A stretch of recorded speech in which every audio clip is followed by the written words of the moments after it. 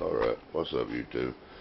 Back together. I've been working on uh, a frame to go around it. At any rate, Mr. Jay Braun made a pretty good comment there. I can't blame him myself. I'd have seen that, I would I would have said the same thing. I did not want this wire laying down under the table. Someone would accuse me of adding energy to the system. At any rate, here's the back up for them to see it. That's the wire that's going from the battery to the pulse width modulator, oh, well, to a switch, and then it goes to the pulse width modulator and into the motor. All this is input. It's all totally separated and isolated from, from the output side. You see the coils, there's nothing, there was nothing hooked to it at all. These, these coils are actually pretty loose. They're, you know, you see there's two wires coming out to each end. And these two are wired together in parallel. You can't series them. If you series them, they won't work at all and the start windings are here and the finish windings there and that's just like I said parallel circuit. And uh, over on this side put the same two coils back down there add all this apart. At any rate you can see these are real loose. They don't they're not tied at all.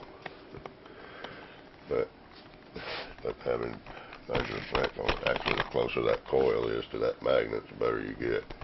At any rate let's turn it over let's turn it over here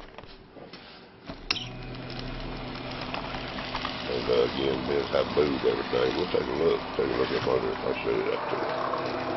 You see there's nothing under the bottom of it whatsoever. Wire going up motor right there. At any rate, nothing under it at all. Get the base amperage at this point. Again, it's all been moved. We'll just use it where it is. 2.5, 2.05, 2.03 just called 2.04 and uh, a reading on the uh, RPM 505 roughly 500 RPM at this point. Alright, now let's take each motor. We'll each one lower coils first.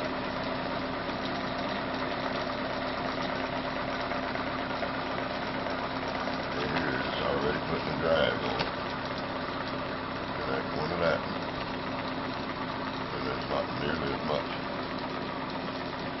copper on those there are the others, and the fact that that slows that down even more is incredible. There's the fan. Both fans running. You can see the amperature going again way up. Over two tenths. And the uh, wheel speed, a look at that dropped considerable from 500 to 453, 455.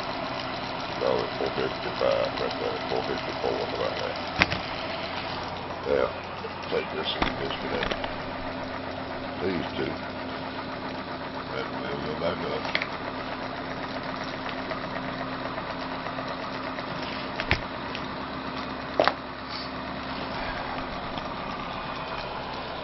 back up to the 2.3, 2.4 that it was. Speed. Back at 500 RPM roughly. Now we'll connect to the new coil top. And uh, do this first. Yes, it, it, it picks up no matter which one you start with first.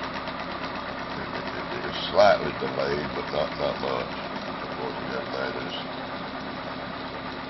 the energy transfer going all the way back over to the other side, but it already, just with one coil, the amperature dropped to 10, over, you know, 10.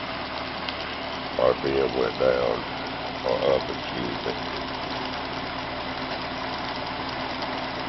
545. And then we to the other side. each two, get a a little bit more. Uh, so, it bit, nine to point eight one. So the wheel speed is going up, it's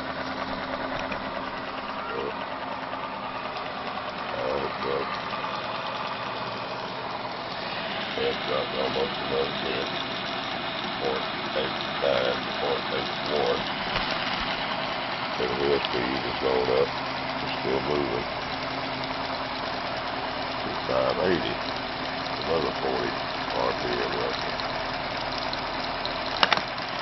that'll help clear up things. We'll be working on adding uh, a whole bunch of them around that thing there. And, uh, got a little help from some people on YouTube. Talked me into putting the donate button back up there, cause the copper's kinda expensive, it's gonna take quite a bit to go around that thing. If anybody help out, that's appreciated. Ain't no big one though, if you ain't got it, don't worry about it. We're gonna do it for free. Peace and love. Hey, heads up.